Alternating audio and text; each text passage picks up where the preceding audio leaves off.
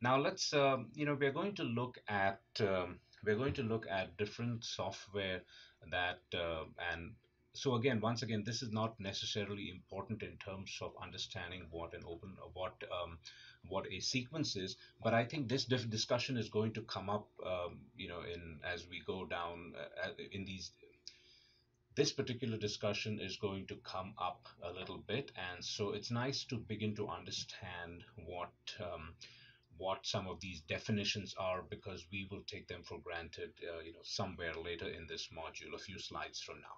So what is an open reading frame? So an open reading frame and look at the definition is a continuous stretch of codons beginning with the start codon.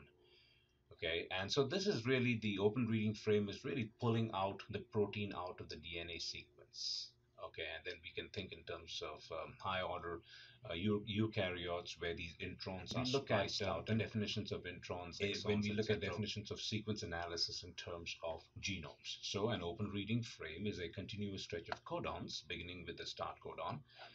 An open reading frame is a continuous stretch of codons that do not contain a stop codon because the moment a stop codon is reached, that means a protein, the protein's, uh, the translation aspect of the protein is truncated. Uh, sometimes if you have stop codons right in the middle, then you know that's then it's a protein is incomplete, it's non-functional, and that's one example of a pseudogene, a gene that is not functional. So these, uh, so UAA, uh, now we're, we, we're talking in terms of U because we're looking for mRNA. So it's uh, uracil, um, um, uracil, adenine, adenine, uracil, adenine, guanine, or uracil, guanine, adenine. And remember we talked about um, in, in RNA, um, uracil replaces thymine okay? And so these are different definitions. The one which is the uh, the one which is the first one is the most modern but it's nice to look at some of the older definitions so you know exactly how this evolved. An open reading frame may be defined as a region of a specified minimum size between two stop codons or between a start and a or between a start and a stop codon. Okay? Now well, we're talking about codons. In order to define what a codon is, let's look at the genetic code. So in the genetic code, you recognize that they, these are, so a three-letter sequence of nucleotides is called a codon, and that codon is translated into a um, into a specific amino acid. Okay, this is basically what happens during the manufacture of the proteins. So you look at, for example, you have um, the columns rows. So you have UU, and then for each UU combination, you have UCAG.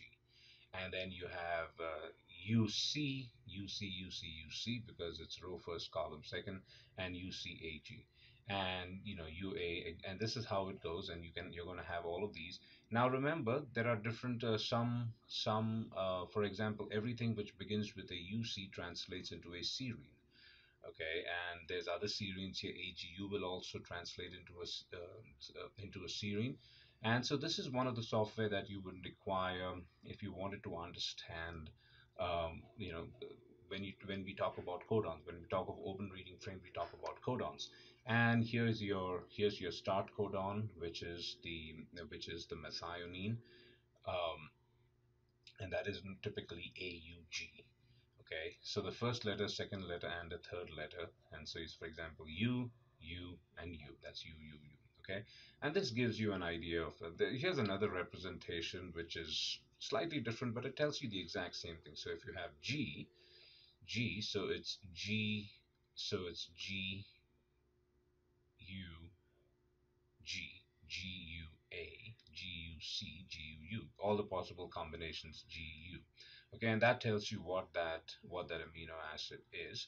And methionine is AUG or you know sometimes incorrectly called ATG and that is the start codon. Uh, here is a better representation. Better representation in the sense that it's not very different from the previous one but then this goes on to give you an idea of um, uh, of of what the structures of the amino acids are. And we'll look at some of this in greater detail. But again this is you know this is more of a circular representation. The previous one was circular representation. The one earlier was more of a matrix uh, a matrix representation